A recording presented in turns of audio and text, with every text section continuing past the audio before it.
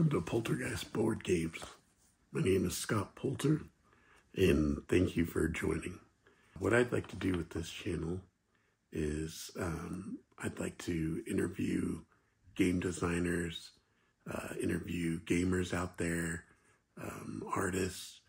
Uh, I'd like to also do playthroughs, um, do reviews, um, interact with the community, uh, maybe get some, you know, games ideas from you guys to uh, test and review. How did I get here? I listened to a podcast by Seek Out and Play, and also known as Speak Out and Play. And he suggested that um, you that there needs to be more voices in the wargaming community. So um, that kind of piqued my interest, and I had always had in the back of my mind that I kind of wanted to start a um, wargaming channel. Um, so I uh, decided to now jump in and um, start one. Now, my channel's not going to be exclusively board gaming, it's also going to have uh, sports games. Um, I play uh, Statis Pro Baseball. Um, I have like uh, some golf games. Uh, I have title bout um, boxing. So there's other other games, you know, that I'm going to also throw in, so it won't be exclusively wargaming.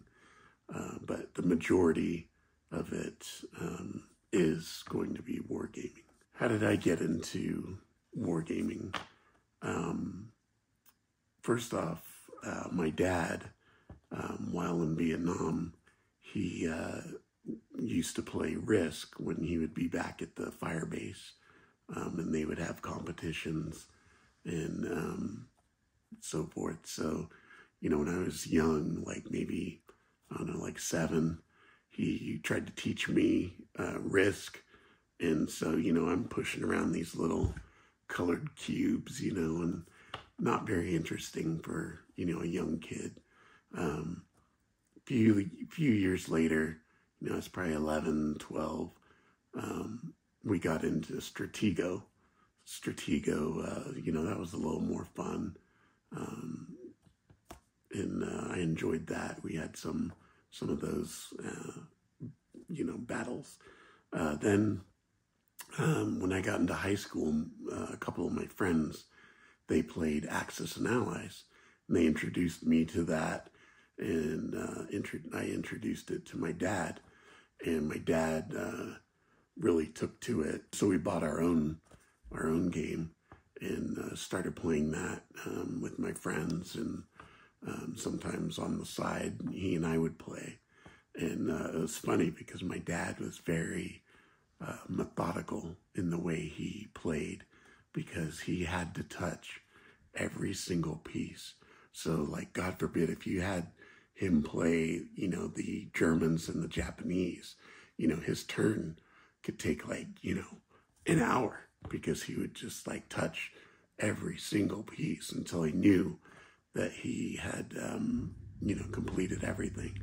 And um, he also you know, when he would when he would roll the dice.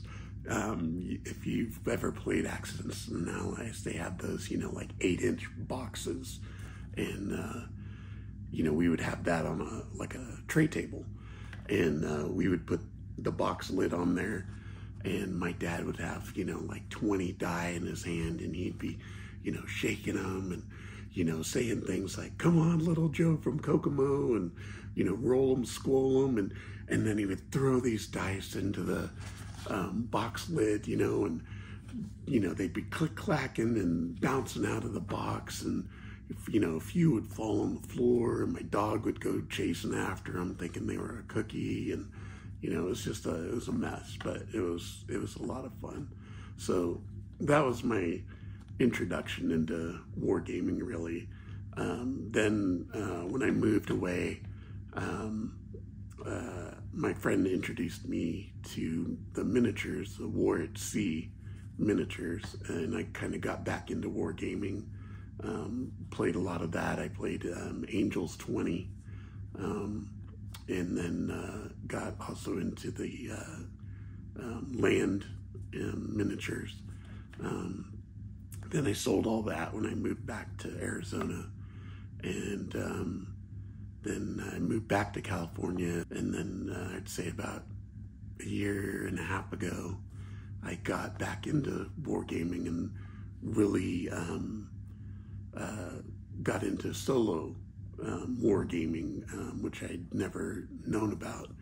Um, I uh, saw a video by Daniel Niemi on his um, his War Channel um, World War II solitaire board game uh, War Channel, and um, I was watching him do a playthrough of his 25th mission on uh, Queen of the Skies, and it really was interesting to me. So I bought the game, and that was my first uh, solo board game that I bought. And then, um, then I had seen people um, talking about the uh, like Phantom Leader uh, board game and Hornet Leader. So I started checking out those, and I fell down that rabbit hole and uh, now I have like almost all the leader leader games, with the exception of U-boat leader and Gato leader. But uh, I really enjoy those games. In closing, some of my inspirations for um, wargaming channels have been uh, Daniel Niemi, number one. Um, his playthroughs and reviews, I think, are really great.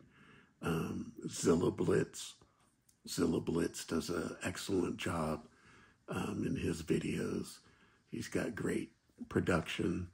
Um, I really enjoy his. They're very entertaining. Uh, Dave's Gaming Cave. he's, you know, just a regular guy, um, you know, rolling dice and uh, playing games, and he's very enjoyable to watch. Um, I also, uh, Poindexter games. Poindexter, uh, I couldn't have made it through Skies Above Britain without his playthrough videos. He's um, very, very um, good at instructional videos and playthroughs. Um, and then probably one of my favorite game designers, um, and I talk to him, you know, daily, uh, Thomas Van Hare um, who's also uh, has a channel, Historic Wings. He's, um, you know, his his historical research is is amazing uh, that he puts in his war game books. Um, and so uh, when I jumped into Mag 23, uh, Guadalcanal, um, that just blew me away as far as war game books and, and the amount of, uh, you know, history uh, that was involved in it. Anyway, that's that's my story, and um, you know I really would hope that you uh, um, enjoy you know these videos I'm going to start putting out. Um, please like and uh, subscribe, and um, you know may uh, the dice forever be in your favor when you roll.